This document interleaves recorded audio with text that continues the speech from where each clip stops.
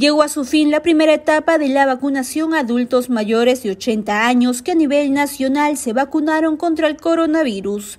En San Juan del Lurigancho, una hora antes del cierre del centro de inoculación, el panorama vestía sobrio. Poca afluencia de adultos mayores hacían reflejar que ya en el distrito más grande de Lima se había cumplido con la meta de vacunar a todos los mayores de 80. Estoy acá junto con mi papi que se va a vacunar contra el coronavirus para que él esté protegido, ¿no? Y no tenga ninguno de los síntomas, pues lo queremos sanito. Señor Ángel, buenas tardes. Muy buenas tardes, señorita. ¿Se va a vacunar? Sí.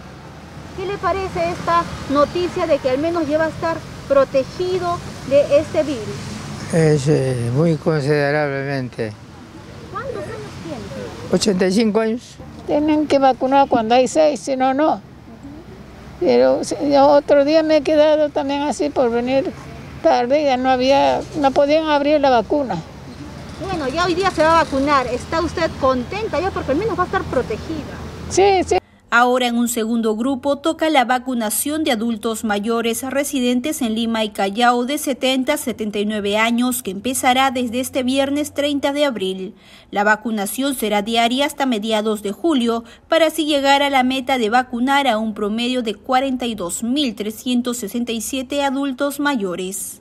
Empieza la vacunación para adultos mayores de 70 a 79 años. Sin embargo, no es que el viernes puedan ir a cualquier punto de vacunación.